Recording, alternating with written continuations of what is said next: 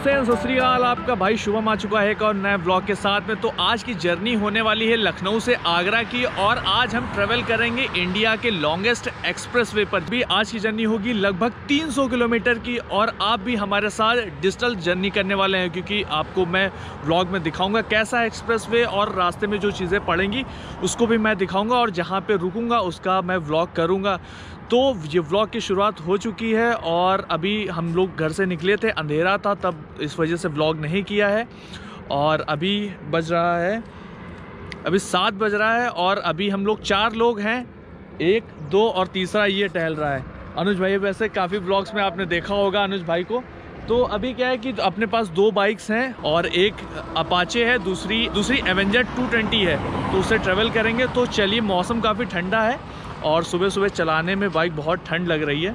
तो अभी निकलते हैं और आप इन्जॉय करेंगे ब्लॉग को। तो गाइस फ़ोटो सेशन हो चुका है। हम लोगों ने अच्छी खासी फ़ोटो खींच ली, काफ़ी टाइम हो गया। और अब हम निकलते हैं आगरा की ओर।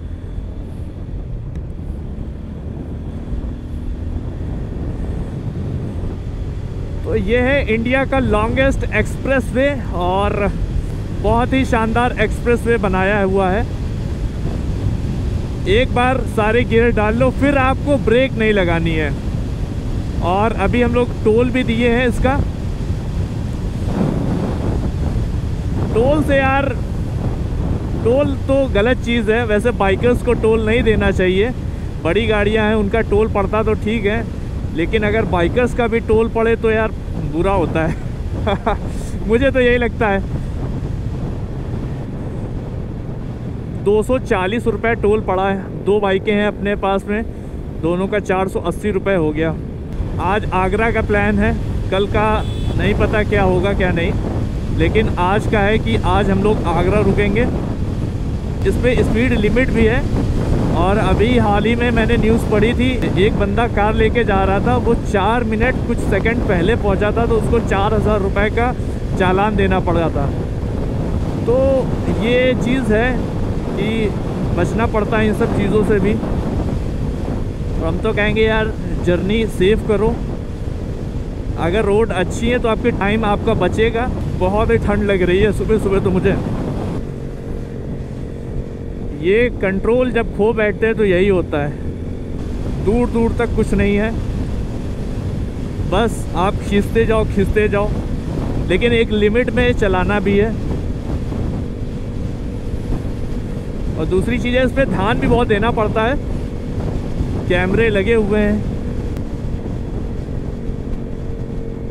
तो ऊपर सेंसर लगे हुए थे, ऊपर जो है, स्पीड का था, उसमें बता रहा है कि आपकी स्पीड कितनी है।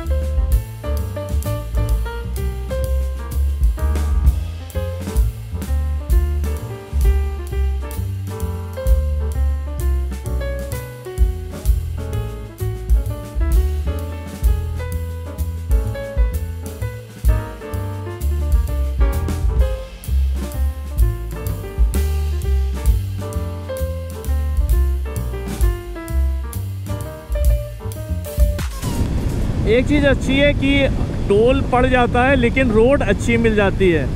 तो जिसकी वजह से हमारे बाइक के टायर या हमारे जो व्हीकल है, उसके टायर भी बचे रहते हैं। और दूसरी चीज़ है कि हमारा टाइम भी बचता है और फ्यूल भी कम खर्च होता है। तो ये चीज़ अच्छी है और लगातार डेवलपमेंट होना चाहिए, ऐसे एक्सप्रेस पूरे इंडिया में बनने चाहिए, मुझे ये लगता है। और यार, बिना टोल के तो कुछ हो नहीं सकता। वो थोड़ी देर की चीज़ होती कि यार, टोल चला गया, टोल चला गया। लेकिन जब हम पूरा ट्रैवल करते हैं, तब हमें एहसास होता है कि हाँ यार, जो हमसे टोल लिया गया है, वो बिल्कुल सही लिया गया है। तो भाई, दो सौ पूरे वसूल हो रहे हैं। अच्छा एक्सप्रेस वे है। तो आगे रॉयल इनफील्ड की क्लासिक 350 जा रही है और भाई साहब के पास हेलमेट नहीं। ये एक्सप्रेस वे पर, इनको अपनी सेफ्टी से मतलब नहीं। चल रहे हैं एक्सप्रेस वे पर और हेलमेट नहीं है इनके पास में। क्या कह सकते हैं? लोगों को अपनी जान की परवाह नहीं है, कोई भी ट्रैफ़िक नियम कुछ भी हो, कोई मतलब नहीं है लोगों से। आज कई दिन के बाद धूप निकली हुई है, अभी तक क्या था कि इतना ज़्यादा स्मोक हो गया थी, धुंध छाई हुई थी। लेकिन खैर, अभी क्या है कि सही हो गया है। मेरे लेफ़्ट साइड पर फ़ूड कोर्ट भी है और पेट्रोल पंप भी है।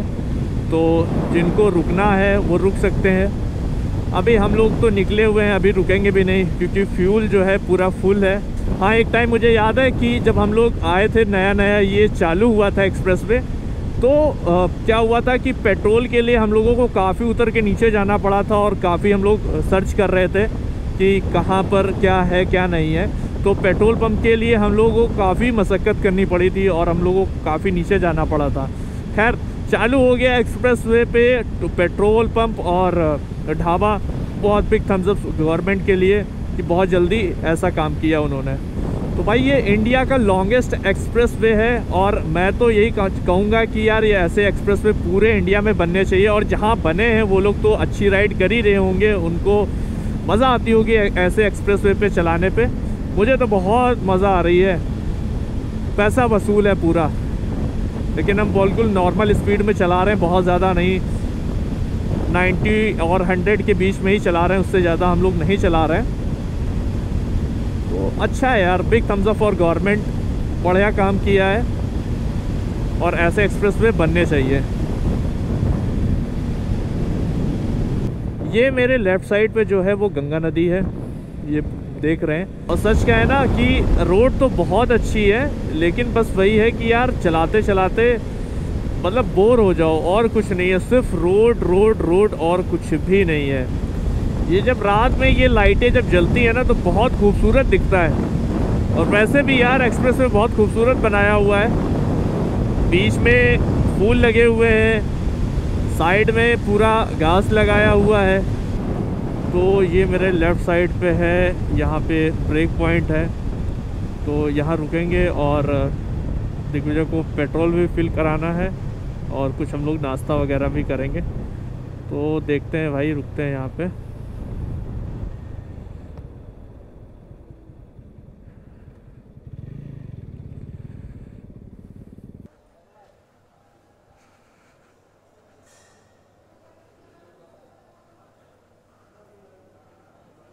तो अभी क्या है कि हम लोग रुके हुए हैं एक्सप्रेस वे पर पेट्रोल भी डलाना था और सुबह सुबह ऐसे निकले थे, कुछ नाश्ता भी नहीं किए थे, चाय भी नहीं पिए तो अभी क्या है कि पराठे ऑर्डर दे दिए, पराठे बन रहे हैं और इधर चाय।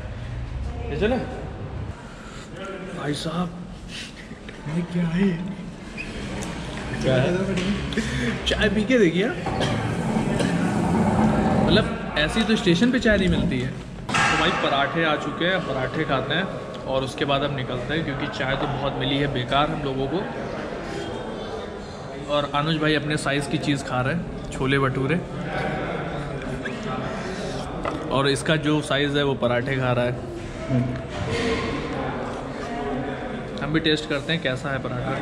हम्म, पराठा ठीक है। ओके ओके तो भाई ऐसा है कि बना तो बहुत बड़ा है लेकिन खाना उतना ही बेकार है। आप देखिए फ्यूल हम फिलअप कराते हैं और उसके बाद निकलते हैं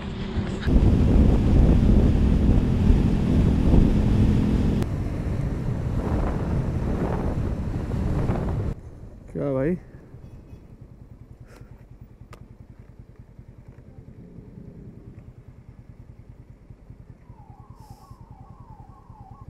पर्ची दिखानी पड़ेगी क्या? दिखा रहा भाग के ले उसके। वो दूसरी लेन में है लड़का। वै, वैसे वो फिटिंग करके रखनी चाहिए ना।